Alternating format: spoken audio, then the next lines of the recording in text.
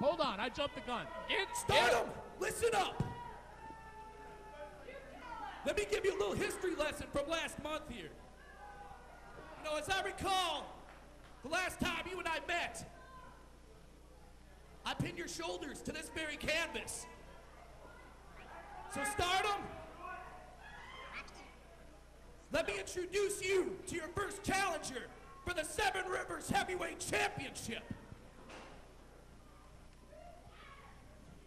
You and me. How about you defend that belt against the Ultimate Power Source Livewire?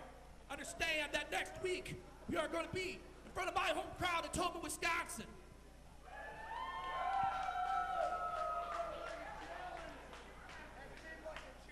Stardom, I'm going to flip the switch on you again. And this time, I'm taking your championship with me. Well, it looks like Livewire wants You to throw his hand intelligent to say here, Stardom? Into the mix and Hey, you know something? Live wire.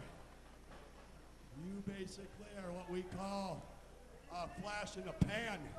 Go. You see, I'm gonna tell you, I may not like him, and even though I had to chase him, Devlin Kain is one hell of a tough wrestler, and proved tonight why he's been the champion.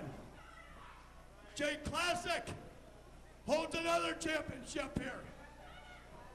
An old friend of mine, Torn Cross, decided to make his debut back tonight after a year.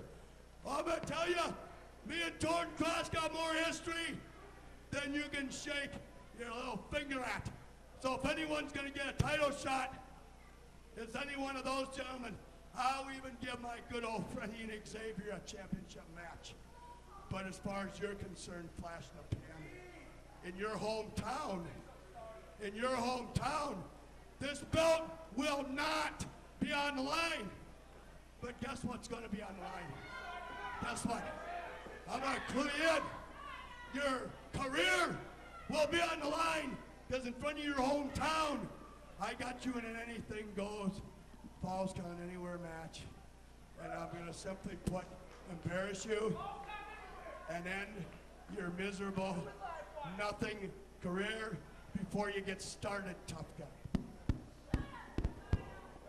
you Stardom, it. tough talk. But sooner or later, whether you like it or not, sooner or later, you're gonna have to.